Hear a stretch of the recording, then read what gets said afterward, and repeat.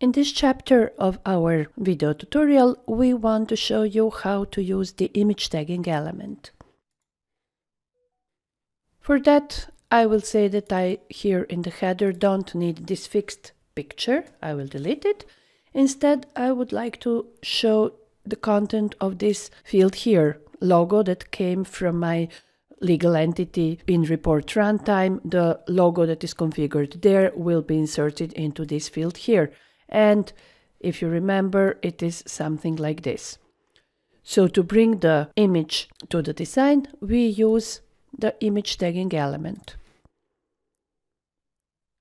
We get to the placeholder and similar as with field tagging element, we need to point to the binding. In this case, we will bind it to general data current company logo.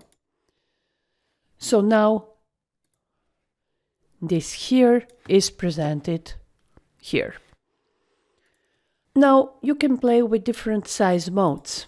As you can see, I like to use fit placeholder width or height because then I need to care only about one dimension. So if I say something like this, and then I make this very small, for example, like one half of this available space, it will be nicely proportionally resized and I don't need to take care about the other dimension.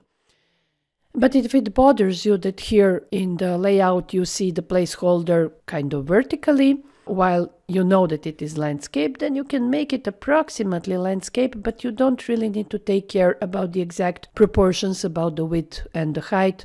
Uh, everything will be done nicely for you. And you can play also and experiment with other modes. Uh, they might uh, be useful in some different situations. And let me at this moment talk about another type of previewing. So far we were using only this live preview here. But notice that there is also this kind of a previewer.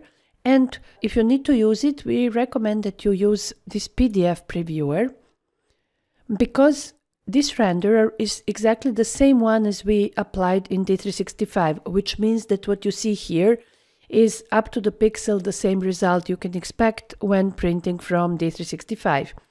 And you will notice that it is better quality than the live preview. So if I make this one the same width as this one here, you will notice that this image here is a little smoother than this uh, one here.